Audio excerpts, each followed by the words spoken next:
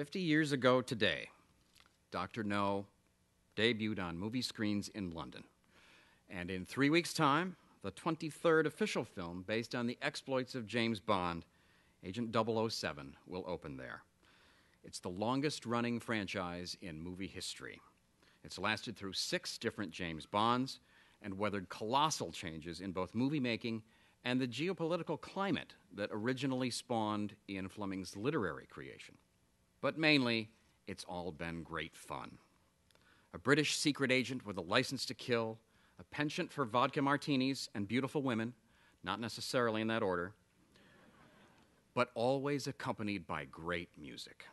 Memorable title songs, powerfully effective scores, and one theme in particular that has become truly iconic recognized the world over, sometimes just for its opening bass line. The James Bond theme, which we heard at the outset, was written by London songwriter Monty Norman as part of his score for Dr. No.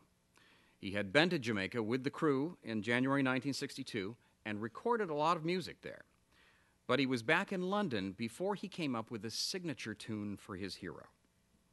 He pulled an old, unused song out of a drawer, dropped the lyrics, sped it up a little, and voila, Doom, da doom, doom, doom, doom, doom, doom, da doom, doom. But as we will hear shortly and firsthand from our guitarist friend Vic Flick, it took arranger orchestrator John Barry to turn that sketch into the dark and dangerous sound that became the familiar theme for James Bond. John Barry was an up and coming young composer who had already enjoyed several instrumental hits with his group, the John Barry Seven. He had become music director at London's EMI Records and was starting to do movies with titles like Beat Girl, or as it was titled here in America, Wild for Kicks. Don't you just want to see that movie? After Dr. No, and success on the record charts for his arrangement of the Monty Norman theme, Barry was invited to write the music for the second Bond film, From Russia with Love. And it was so effective, so atmospheric, that Barry not only got to write the score, but also the song for the third 007 film, Goldfinger, along with his old friends, Anthony Newley and Leslie Bricusse, to write the words.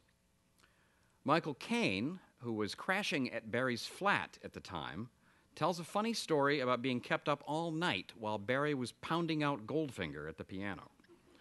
Believe it or not, the Goldfinger soundtrack went to number one in the United States, pushing both the Mary Poppins soundtrack and the Beatles 65 album out of the top spot for three consecutive weeks.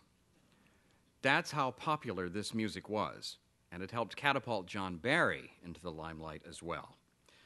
Within two years, he would have his first two Academy Awards for Best Song and Best Score for Born Free, a movie about lions in Africa that couldn't be farther removed from the world of James Bond. But first, there was another Bond to score, and in some ways, this was the most complicated job of all. The next film was Thunderball, and once again, the composing assignment fell to John Barry. This time, he invited one of his Goldfinger colleagues, Leslie Bricusse, to co write a song that would be called Mr. Kiss Kiss Bang Bang after a phrase he'd been told was a popular Italian nickname for Bond. It went like this He's tall and he's dark, and like a shark, he looks for trouble. That's why the zeros double. Mr. Kiss Kiss Bang Bang.